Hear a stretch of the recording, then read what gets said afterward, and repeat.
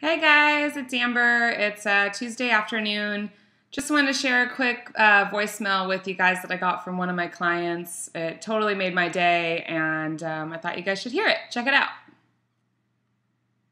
I just left Angela's and I showed her my photos from um, the Citizen, and she fucking lost it.